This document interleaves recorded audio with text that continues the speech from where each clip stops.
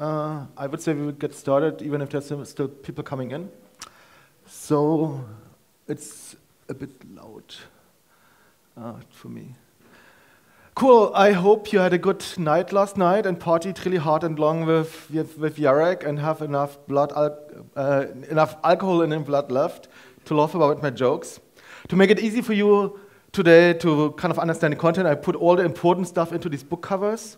So if you read and understand those, that's the most important bit. All the other stuff is just um, embellishment. So when Jarek asked me to talk about graph database internals, I thought, okay, actually, oh, so, sorry. Uh, actually, it's quite a lot of stuff, and I'll try to split it up and pick, pick and uh, show you some of the bits and pieces, but it's not enough time for uh, doing the whole talk. Actually, I have a colleague who does like Neo4j architecture for for our new folks that join the company, and it's a whole day kind of whiteboarding session. He goes with the whiteboard for a whole day and, and talks about all the bits. Uh, so actually, I know what you're here for, right? So basically, um, tweet, read Slack, and uh, enjoy yourselves. So um, I found it quite useful recently to do presentations with book covers because people are primed to pay attention to these. So we're going to do this, but uh, it's not a boring type of book covers, but the, the fun one. My name is Michael. I'm a developer uh, advocate at Neo4j. So actually, I'm leading the developer relations team at Neo4j. I've been there now for eight years, so for a long time. So my little baby grow up from a small Java library to a full-blown database with all the bells and whistles, and also see the company grow from 10 people when I joined to 250 now, which is quite quite nice. Um, so I'm doing like all the open source stuff at Neo4j, helping users uh, to be happy and successful, and uh, enjoying myself. Um, as I said before, there's way too much stuff in the database uh, to show it all to you. We could actually look at all the source code and would probably be busy for several days. But you can find it all on GitHub. So if it's just an open source database, you can just go to GitHub, grab the sources, and, and look at it. Um, so not just the database, but also the drivers, Neo4j browser, and other things are there as well. So you can find if you're interested in JavaScript bits, you can look at the, the browser app. If you look into the deep database internals in the JVM internals, then you can do that, or in any of the drivers as well. And actually, we're hiring, so you can join Jarek on at Neo4j. And here's an example. There was actually a guy uh, in 2010, who, uh, a Greek uh, guy who read and wrote about Neo4j internals. So he read the source code and then wrote a bunch of blog posts about like all the internal bits and pieces. And so he joined us like a few months later, and now he's engineering director. So he actually uh, made a good uh, thing. So if you want to spend your life Googling for error messages at Neo4j, then uh, please uh, talk to me about that. Um, because I will talk a lot about internals that are not so visible, I thought I start this time with a demo and don't put it at the end, so we have actually something to see and you know what I'm talking about. Um, so Neo4j, so this is what you see on the outside from Neo4j. That's, that's Neo4j browser. Database is running in the background. And this is a React application that has some data. In this case, it's a medical data set. So it's uh, drugs, diseases, genes, human pathways, and all this stuff. And there was, there was an, a PhD researcher who put this all together in, into a graph and made it available for others. And so you can interactively exp explore this and run queries against it. And um, that's how, basically how it works in the, in in the background. And uh, if I run this query up here, I find uh, genes that are associated with liver cancer and kidney cancer, and then the result of the query looks like this. Um, so you have uh, kidney cancer and liver cancer there, and all the genes in the middle. But you can imagine that you can do anything that's like connected information is visible in this database. So this is just quick demo that you know what I'm talking about when I'm talking about Neo4j, which is actually the database behind that, but the UI is quite nice for visualization. So, worked on my machine, cool. So, short history of Neo4j. So, once upon a time in Sweden, in Malmö, Sweden, there was a document management system and content management system, and they had two big issues. One issue was uh, multi-language keyword search. So, for instance, you tagged one image in Polish, uh, with, um, with building like DOM, and then you wanted to search uh, for it in English for house. And uh, think about like synonyms and meaning hierarchies and all this stuff for every keyword, basically. So you get in very, very complex language graphs across all 27 European languages. You can imagine how complex this is.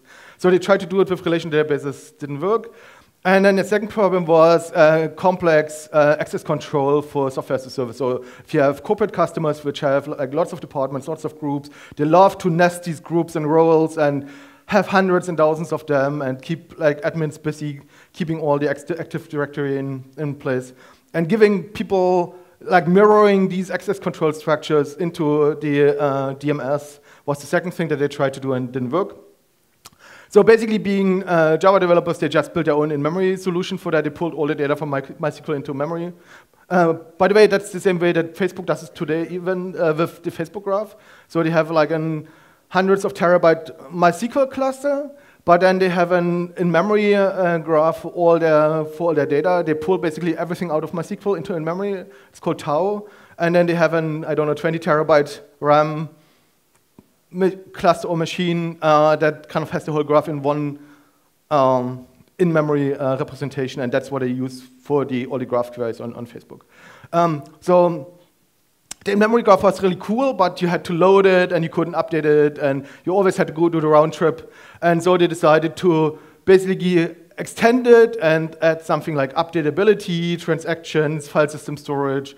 And you know, days went by and suddenly they had a database without actually knowing it. And then the dot-com bubble came, the company died, but they pulled out the graph database bits and then started to found Neo4j company. And so a new server was born, and as I mentioned, in 2007, they started a company, and then I, I joined in 2010, and then we kind of took off. So actually, right, building a database, how hard can it be, right? So I mean, the likes of Oracle have been doing that now for 50 years almost, like since the 70s. And especially if you're just an app developer, I mean, without any deep computer science and database backgrounds, it's actually not so hard, right? it, was not, it was not really true.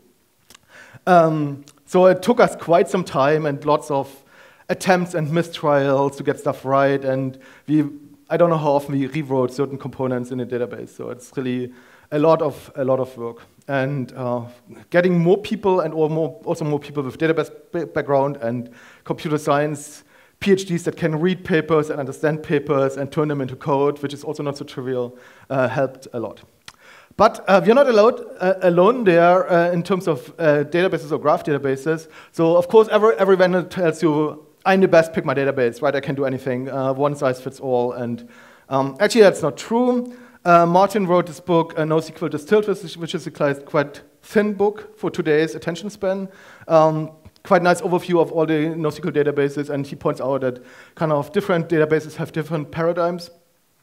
So most of the databases, um, if you look at it from like relational databases in the middle, and um, aggregate-oriented databases like column stores, key value stores, and document databases to the left, and uh, databases that are even more normalized than relation databases to the right. So to the left, you have all the databases that have an aggregate model. That means uh, all the data lives within one entity, and if you want to do atomic updates, they also happen in this one entity. And having transactions that truly span multiple entities is quite difficult and makes the database really slow, as you might have seen in the past when you do like distributed transactions or transactions with Cassandra or with, with Mongo. Um, and on the other side, relational databases, and, and, to the right, you have databases which have a fine-grained model where you have a lot of entities, lots of connections, which are really flexible in querying, but they need transactions to keep their, uh, their model uh, consistent and safe, because if you have a complex kind of uh, a complex normalized model, if you update some stuff and some other stuff and it's not consistent, then you have broken data really quickly. And, and so that's kind of the big difference. So basically, uh, the NoSQL categories are to the top, you de do denormalize into aggregates, and to the bottom, like graph and actually relational is also part of that, uh, you normalize more than that. Examples are these uh, that you all know, and that's where we can. So this is actually a real book cover, not a fake one. Uh, so this book really exists, and it's quite nice to read also as an overview and deep dive into some aspects of the, of the database implementation. Okay, the, the graph approach is, has some, some cool bits to it. Um, so one is that the, the, model is quite natural. So you saw in the, in the first demo that actually uh, the things that you would usually draw on a whiteboard, you can see in a graph again, right? So it's not so that you actually uh, do something with the uh, domain experts on your, uh, on your whiteboard, define a really nice conceptual model, then you go to the database and it's all tables and joins, basically. You don't see anything of the domain anymore because it's like, I don't know, 400 uh, entity tables and 1200 join tables or something like that. And then domain experts say, oh, go away with all this stuff. I don't want to see it. So that's quite nice that you, when you put stuff from the whiteboard in the database, it looks the same, so people can follow along and you don't lose them, which is really nice. Uh, the other thing that's quite nice is it's schema optional. So um, basically, you don't have to define a schema up front, but you say, okay, whatever data comes in, whatever connections come in, I can just store them as they are. I don't have to define, okay, suddenly there's a new connection between this company and this person, connection type.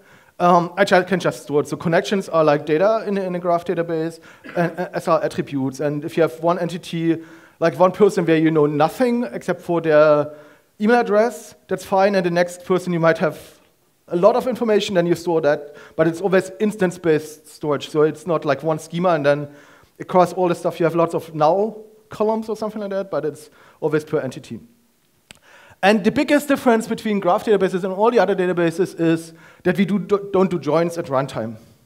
All the other databases, when you do a join, it says, okay, here's my entities, here's my foreign key, let me find this entry in this other table or in this other document collection that fits this key.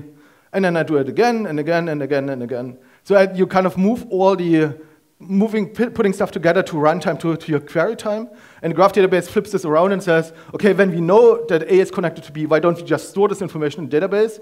And then at query time, we just follow a pointer. So it's like an in-memory pointer that points from, from this entity to this other entity, and then it's an O of one operation, basically, to, to do this. And that makes a big difference because then you can even do really complex queries which get, go deep into your, into your model or have a lot of joins or really long paths or deep trees. You can do them in, in real time because it's just basically following these pointers and following in-memory pointers is pretty fast, as you, as you know. Uh, the other thing that's quite cool is it doesn't really matter how much data you have in your, in your graph database because it only looks at like neighborhoods of nodes. Usually you don't do like crunch all the data in my database to compute something. Uh, that's more a um, compute task. But you say, okay, I have this person, I have this product, I have this song, I have this band, I have this location, and then I look at stuff in the neighborhood of that. So who's connected to that? What did they buy? What did they like? What did they listen to? And what are the other people that listen to the same stuff? And you're still in the neighborhood of this first node. Um, so even if you have like 7 billion people in your database, if you look at the people that are here at the conference, you only look at 300 of them. So all the other data is not touched and not, not accessed if it's not connected to these, to these people, which is really nice because you can have much more data in your database than you actually access. And then for the number crunching stuff, you have dedicated uh, compute approaches which uh, use different um, in-memory data models. So the data model, as I said before, is uh, pretty, pretty straightforward. It's basically what you draw on a whiteboard. I draw circles and arrows. So this connect uh, this person loves this other person. As you know, love is not always reciprocal, so I might be totally in love with someone and the other person doesn't care about me at, at all about me. So your, their uh, direction is important. For other kinds of connections, uh, direction doesn't matter. Like if I live together with someone, then the other person automatically lives also with me. It's kind of, you can't really opt out of that. So there you could uh, also ignore the direction. And then you can put any kind of attributes on the, on the entities, but also on, on the relationships. So that's also a difference to the object model, where you have an um, object reference to another ob object um, or in, in, your, in your class model, but you can't put properties on that, on that reference, right? And in, in graph databases, you usually can put properties on your reference, which then help you to uh, identify them or qualify them, or if you have weights or distances or costs or stuff like that. So, and if you compare it with the relation model, so all the foreign keys and all the join tables become relationships, basically. Right? So the entities stay entities, but you don't need all the schema around it, and all the foreign keys and all the join tables become relationships if your relation model is still normalized, if it's not optimized by the DBA and denormalized to be fast, uh, then you have to do a little bit of work by basically taking the data from, from the other database, knowing a graph model and then put the right data in the right place, um, basically. So there are lots of different implementations for graph databases. I, um, this is the list. It's like 32 different graph databases that you can choose from. So it's a super easy choice, right? Just pick one at random or so. Um, and there's a lot of stuff happening in the last two or three years. So initially, Neo4j was kind of alone in its graph database space holding up the, the flag. But in the last two, three years, a lot of small and large companies have added um, also graph databases to their um, offering, which is cool because we don't have to tell ourselves all the people about how cool graphs are, but others help as well. And it's also quite nice in terms of popularity trend. There are lots of different implementation designs, how you can kind of store and query this kind of connected information. So there are adjacency lists, adjacency matrices, uh, sparse matrices. You can use a column store. There's something that's called a Hexastore, hash indexes, document storage, and so on. So it's a long list, and I have like one slide for each of them. But of course, each of them has like a whole theory and considerations and complexity considerations and how does it perform with writes versus reads versus transactions. And I just don't have enough time to cover that. Um, but I have something for you uh, around this. So a adjacency list is basically what Neo4j uses. You have each entity, each node has a pointer to the connections to other, other nodes, basically. So it's in-memory pointers, and um, it um, uses this uh, kind of model. The only thing that's a little bit annoying about this is that you want to have the data that you query in memory because otherwise you hit disk.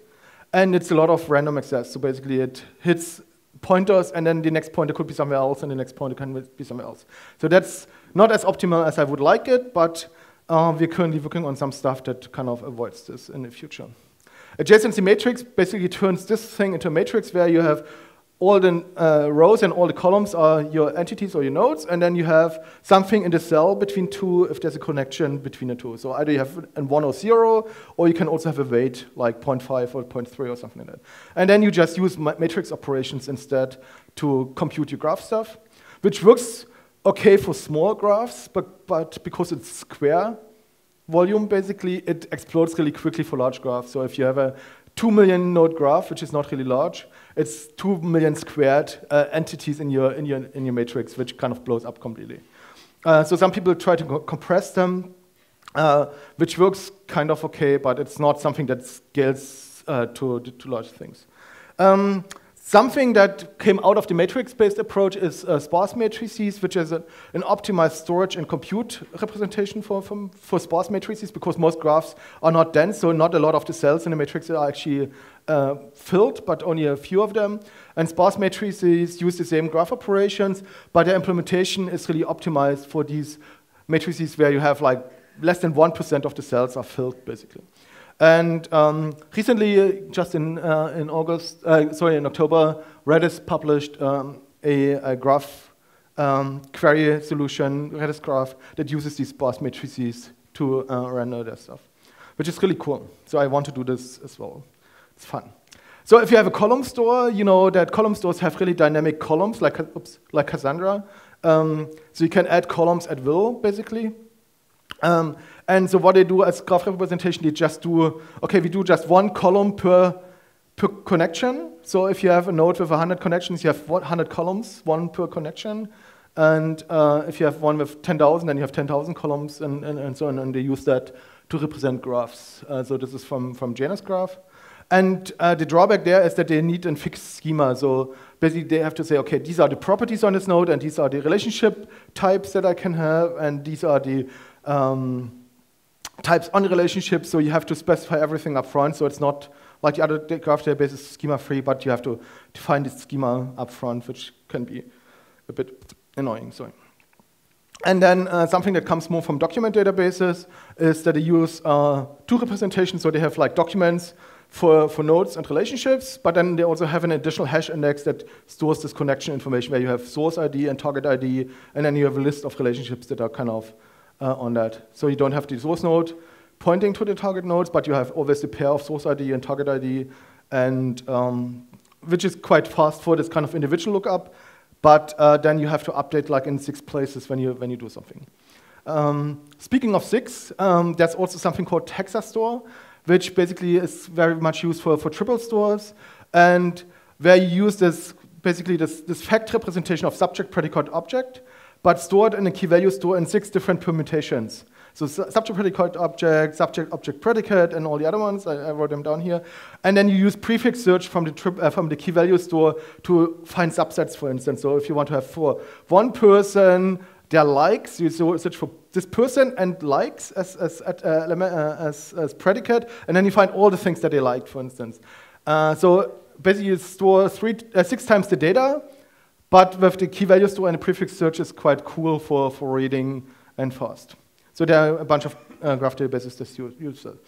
And then the other thing uh, that we came across was document stores usually use something like put in a field with an array of pointers to IDs or to um, or to attributes of other documents, and then you kind of go to the other document and fetch the other documents, and Mongo added in, in their aggregation framework a graph lookup operator that basically lets you configure all this lookup stuff, and then they do it internally. So you don't have to do it manually in client code, but they do it basically on the server side.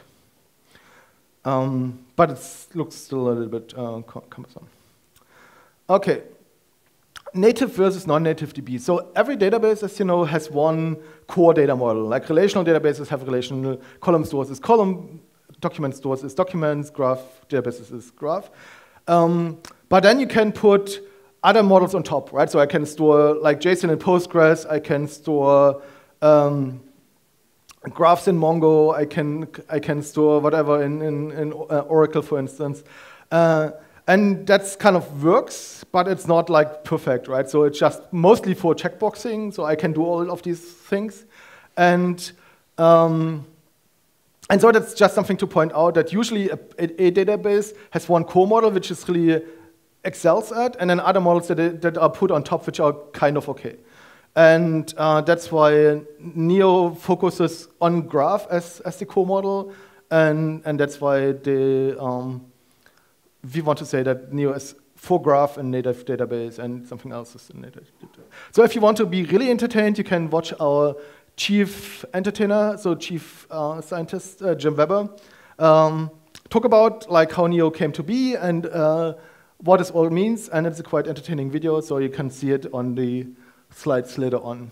Um, so, but after all, a database is a database is a database is a database, right? So if you look at this, so that's what MySQL's architectural diagram looks like for the last 20 years or something like that.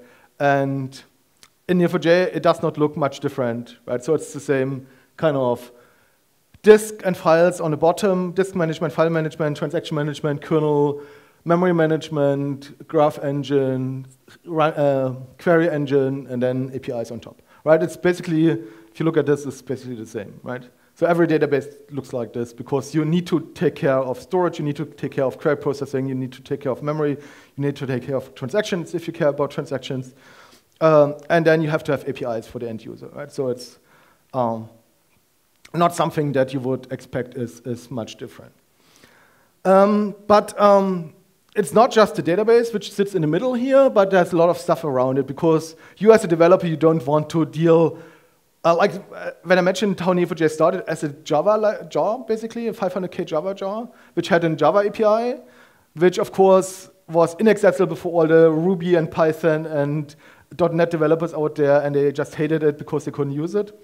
Uh, so you can't just do this, but you have to build a real thing with APIs and query languages and visualization tools and all the other stuff. So uh, in the last two or three years, we started from going from just a database to provide all the other stuff around it as well, which is quite a lot of additional work because it's like not, not our core com competency, but uh, you, you, still have to have to do that. So looking at the different layers uh, of a database, uh, starting at storage. Uh, so the Neo4j storage is um, file-based records which are fixed size, which allow us to have give each record an ID, which is basically the position in the file.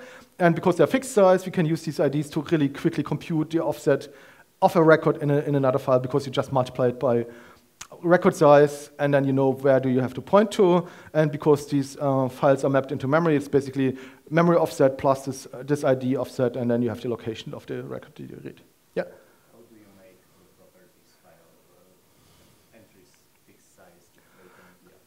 It's an, um, the property files are uh, basically blocks of properties. And if you have multiple or more properties, it's kind of subsequent blocks. So you add new blocks of, of properties. So it's like always a, a block of things. And for like things like dynamic strings or arrays, uh, all the other ones is no, not a problem because uh, like numbers and booleans and stuff is fixed anyway. Uh, but also the dynamic size ones, you also have something that chunks them up into smaller blocks and then uses these smaller blocks to, uh, to store them. Um, because uh, having the stuff on disk doesn't really help you. you have to move it in, into memory. And initially, when we started, we used just the operating system memory mapping of files, which worked kind of okay, but not really well. So it sucked on Windows. And on Linux, we had a problem that uh, the kernel always decided to uh, swap out pages that we actually needed because it didn't know these were important. So we wrote our own um, page cache basically for, for files uh, because we know which, which pages are currently written to, which are recently re read. And we can also provide transactional guarantees on, this, on these files if you have concurrent threads accessing that. And not just that, but also the, the um, metadata mapping structures as well. And all the stuff lives off heap uh, in the JVM because you don't want to deal with all the garbage collection uh, issues that large stores um, have. So we have databases that are like terabyte size, and then if you have like I don't know, move, have to move all of that into on heap, then you have terabytes of, of heap, which is not, not, not, so much fun. And so all this stuff lives off heap as well. And we also use the page cache for other things, uh, like um, our index uh, infrastructure is also uh, sitting there. And there we even have like generational data structures so that can do a kind of MVCC uh, approach as well. And uh, what we want to use them for is in the future is uh, to do something like spilling transactions to disk if they're getting too large and, and things like that, so that we use these off-heap structures for them. The DB engine, basically it's a low-level Java API which only has numbers and arrays and nothing else, so there's no object allocation as, as or as little as possible object allocation. There's uh, some stuff on, on heap, some stuff is off heap, and uh, most of the things that the database engine does is dealing with transactions and managing these records, basically creating, updating, reading these records of the database, while keeping like multi-threaded isolation in, in, place and also doing some uh, bits with pushing down predicates and prefetching of, of cursors and, and things like that. So something that we want to work on for the next version, which I'm really excited about, is the store abstraction. So basically that we can swap out the, the storage behind the API or SPI so then we can experiment also with other kinds of storages and in memory storage, pure in memory storage where you don't have disk and file anymore and stuff like that. So that will be really cool. And it looks like this. So you, you see you pass in ints, you get booleans back, you pass in cursors, and then the cursors are handled. And that's kind of the low-level API, which you, or SPI, which is not meant for, uh, for end users, but it's really just meant for the internal systems that, that use that.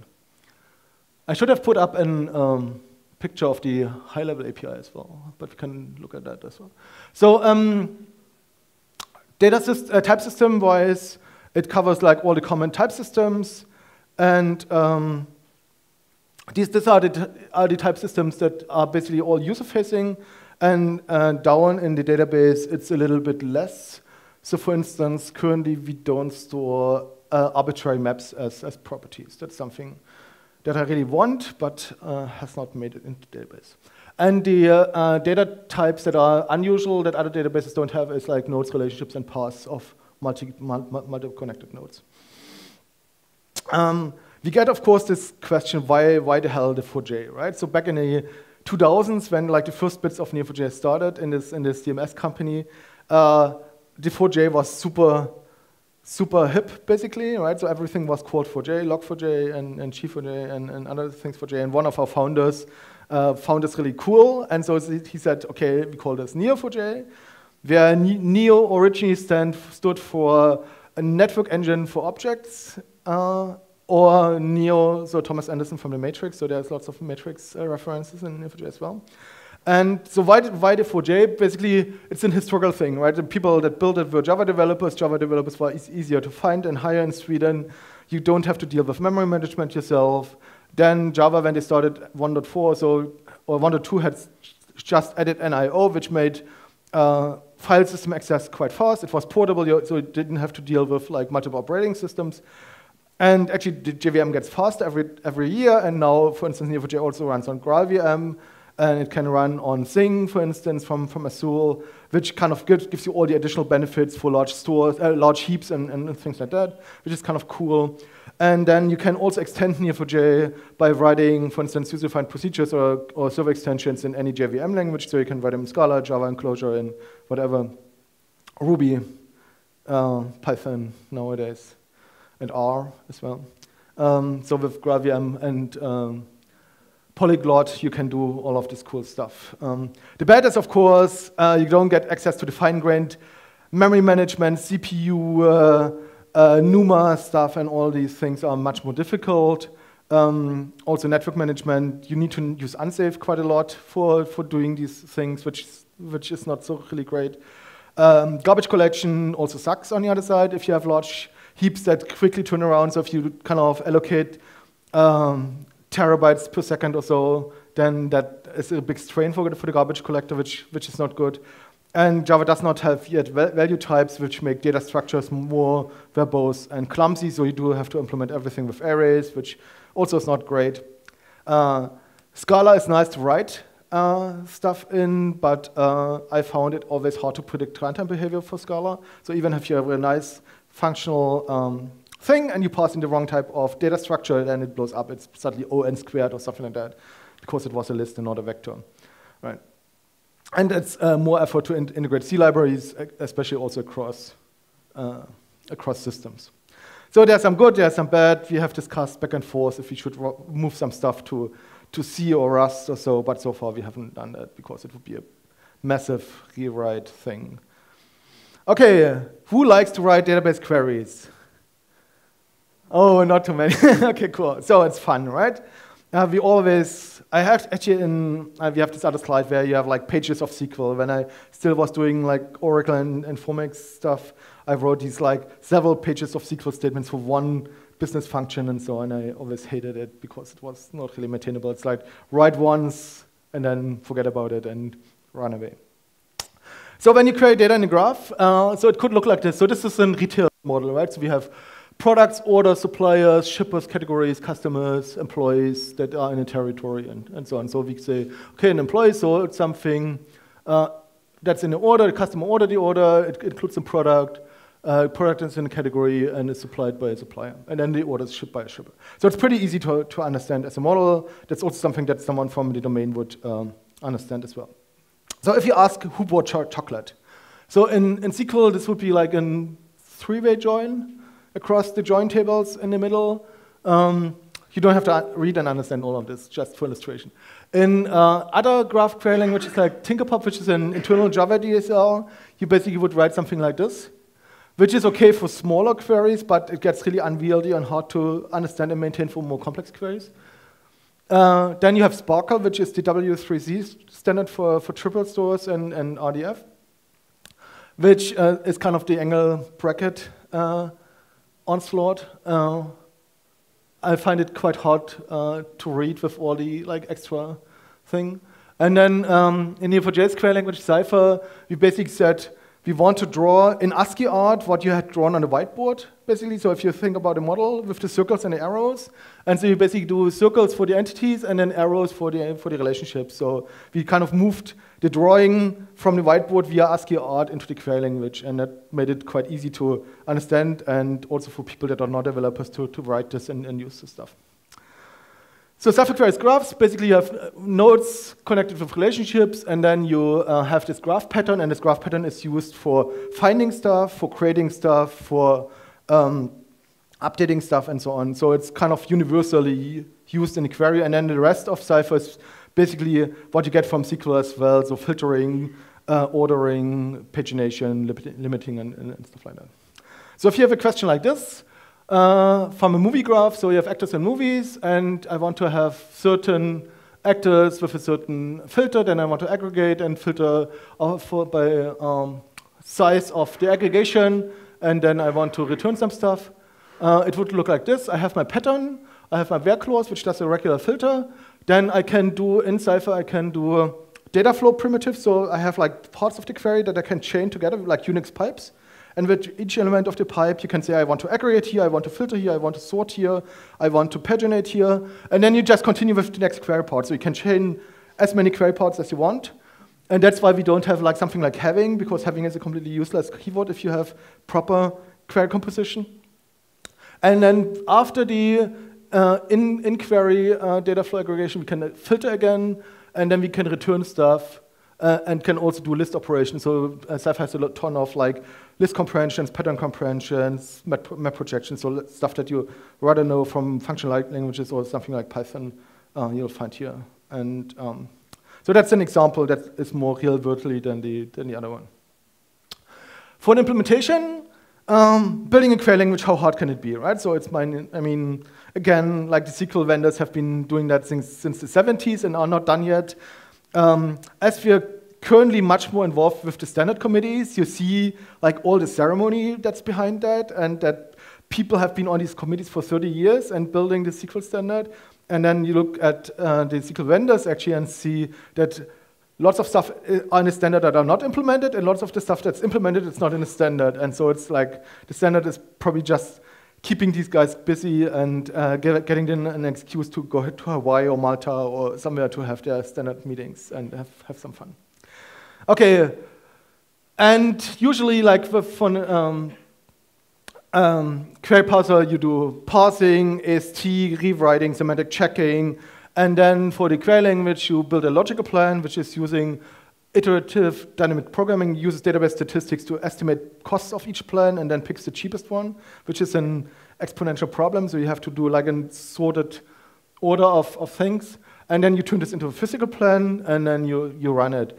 And in the translation between the logical plan and physical plan, you can do some things like a compilation where you turn certain parts of your query uh, from an interpreted mode into compiled mode, where you, for instance, can generate bytecode for certain operators, which is quite cool because then these operators are jittered and really fast and not interpreted like a traditional interpreter.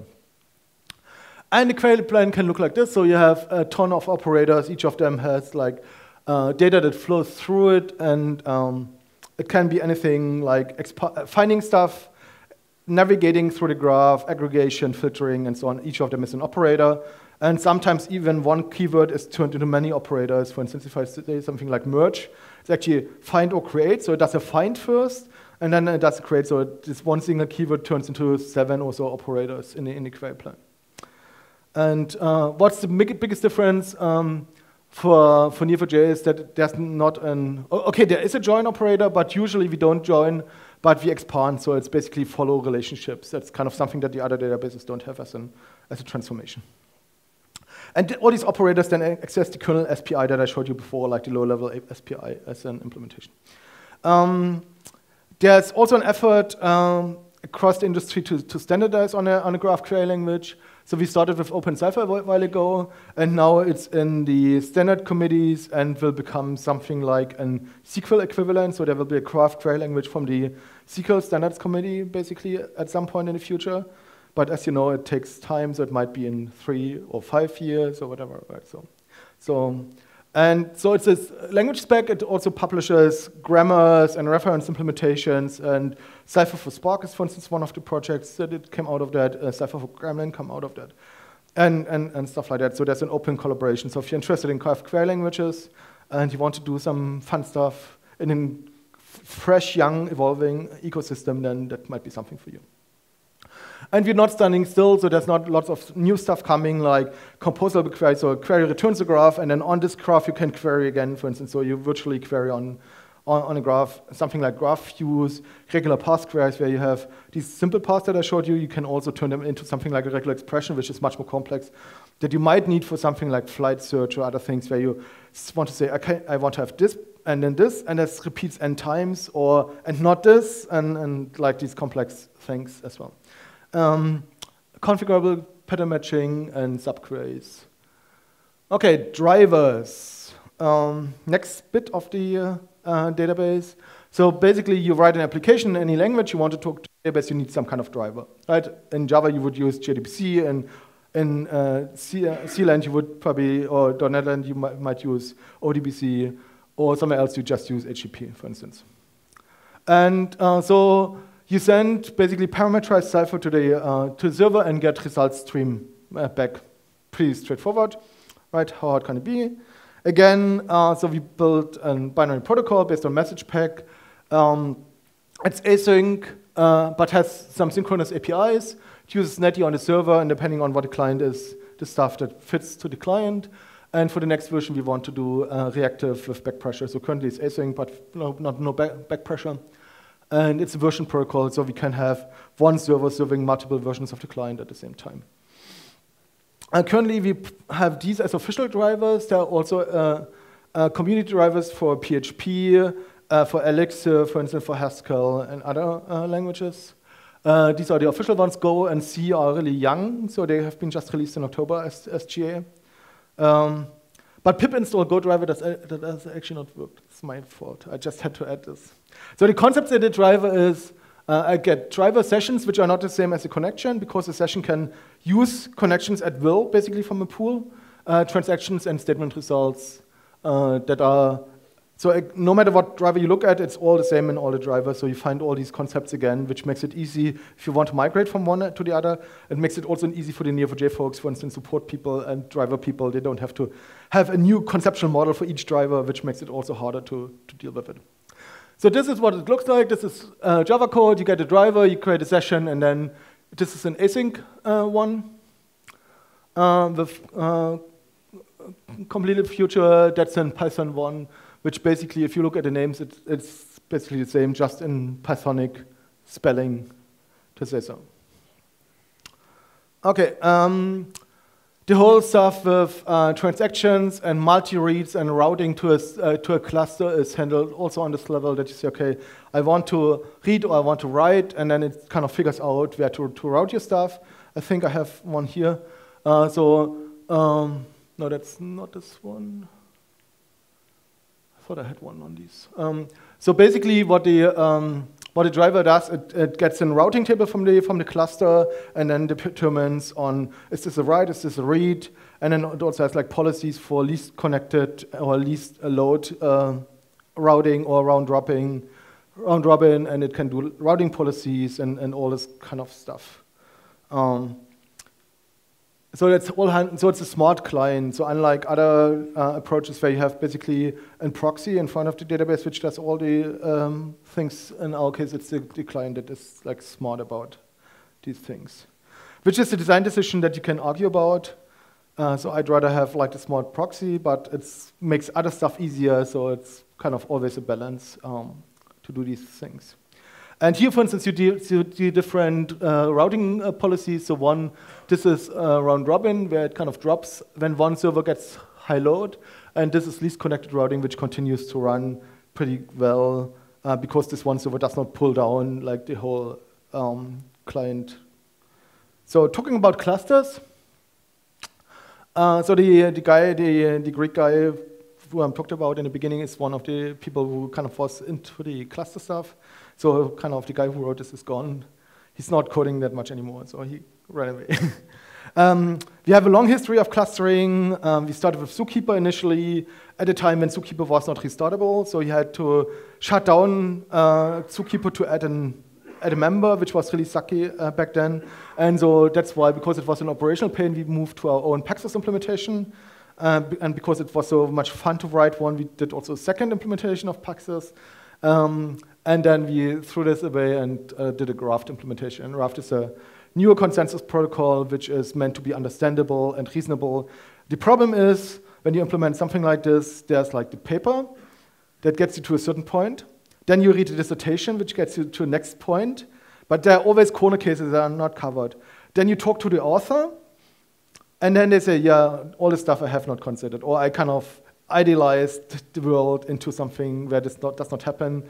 And you still have, with these modern consensus protocols, you have still certain Byzantine failures that are not covered and where you can just throw your arms in the air and say, okay, restart, which sucks. We don't want to do this. Okay, uh, the um, cluster is called causal cluster. You can also say casual cluster if you want to have fun with the Neo folks. Uh, and it's basically uh, two levels of servers. You have core servers that you can read and write from, and then read replica caches around that, basically, that allow you to scale reads uh, over that.